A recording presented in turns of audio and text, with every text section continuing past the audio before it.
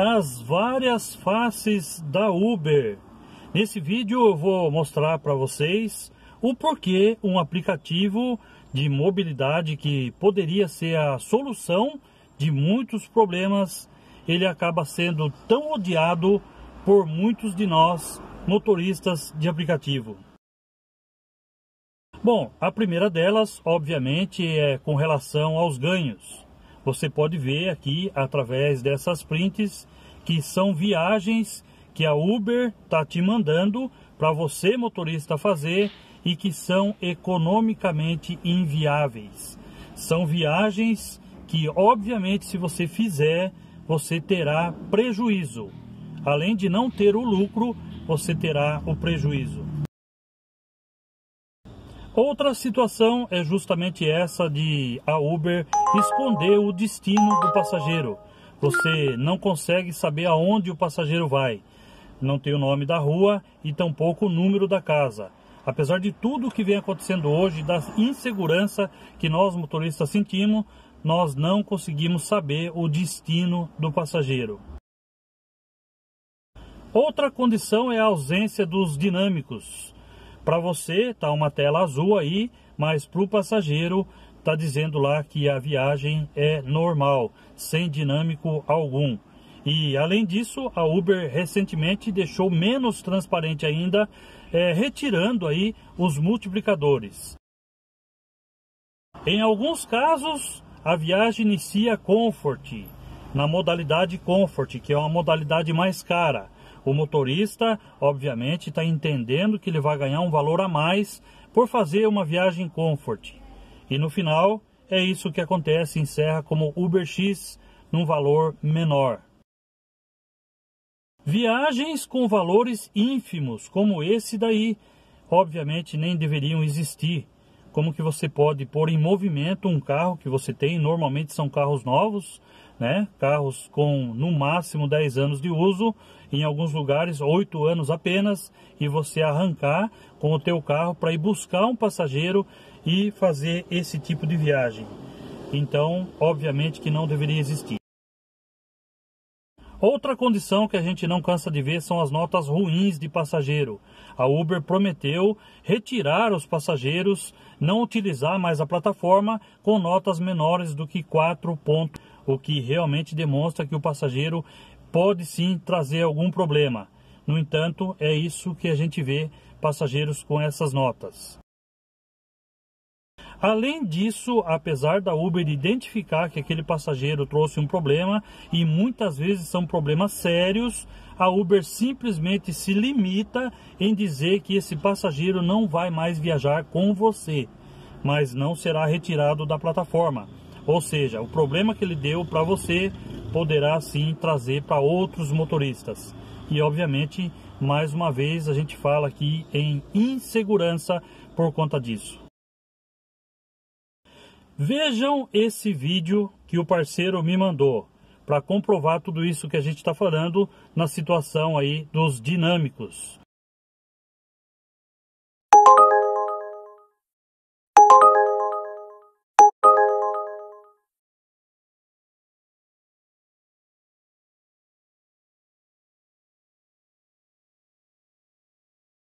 O preço dos combustíveis cada vez mais aumentando. Parece que o GNV lá no Rio de Janeiro vai ter um aumento enorme.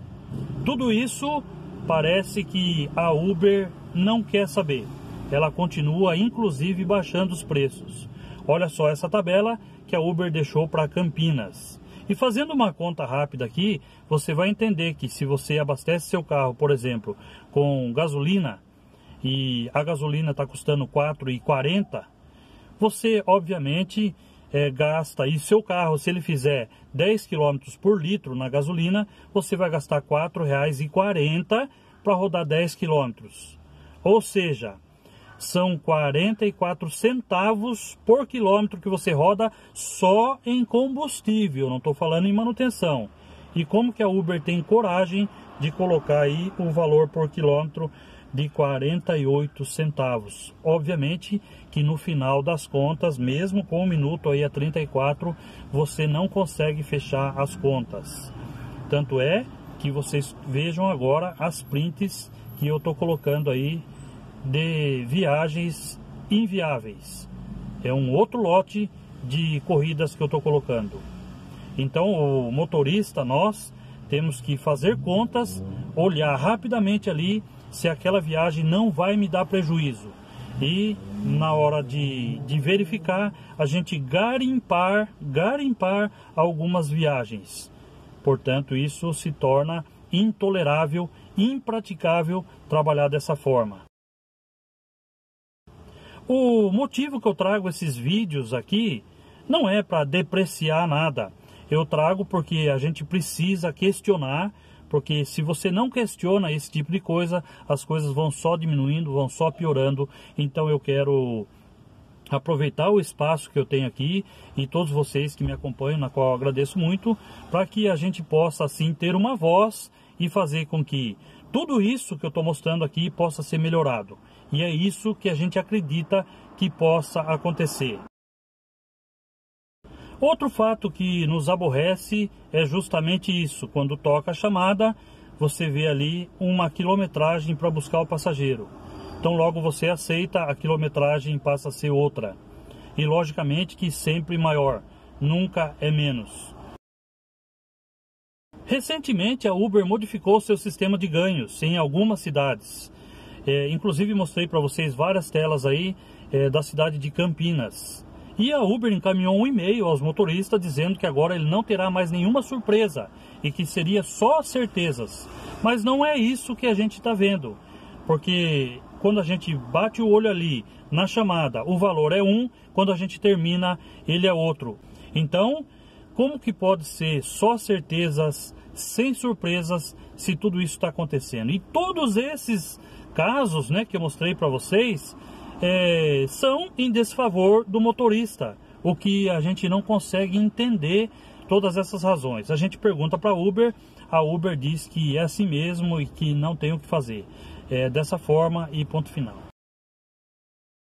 Eu poderia ficar aqui o dia inteiro mostrando para vocês tudo que está acontecendo hoje no mundo da Uber, no aplicativo da Uber, como por exemplo as exclusões, né, que acontecem por algoritmo, o que é um absurdo é, excluir alguém por um algoritmo, né? sem que exista ali algo manual, alguém que possa identificar o problema. E o que é pior, que eu sempre venho falando, sem o contraditório do motorista. Mas isso vai dar um vídeo longo, um vídeo de mais de 24 horas aqui, o que acaba se tornando também é, humanamente possível. Eu acho que só isso já é o suficiente para vocês entender, para nós entender o porquê ultimamente se fala em paralisação e tem toda essa situação acontecendo com nós aí é, devido a Uber agir dessa forma. Poderia sim ser um aplicativo que tem tudo para favorecer, para atender tanto os passageiros como os nós motoristas. Obviamente que tudo isso também influencia para o passageiro, ou não? Que influencia, obviamente, também diretamente para ela. Então, eu acho que é um caso para Uber levar para um laboratório, pode levar até esse vídeo se você quiser. E vocês sabem de tudo o que acontece. Não precisa levar meu vídeo. Vocês sabem exatamente o que está acontecendo dentro da, dentro da Uber. Só que me parece que não querem mesmo consertar. Pessoal, se vocês gostaram do vídeo, deixa aquele like se inscreve no canal se você não é inscrito, ativa o sininho, deixa aqui os seus comentários e lógico, eu não falei de muitos casos que está acontecendo, mas deixa aqui nos comentários também que está acontecendo com vocês e a gente pode até fazer um vídeo maior contando outras coisas também que está acontecendo. Um abraço, fica com Deus. Infelizmente, eu sei que esse é o nosso ganha-pão.